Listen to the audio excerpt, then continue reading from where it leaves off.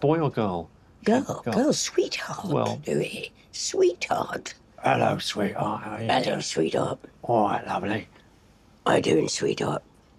I'm told that you, there was an incident during lockdown when she was concerned about your well-being. This carpet was turned back, and I walked along here, tripped on that, and fell into that corner. And nobody was in the house, and I couldn't get up. And all the time, the whole time, and I was there for exactly half an hour, she said, What are you doing? What are you doing? What are you doing? Like it was some game.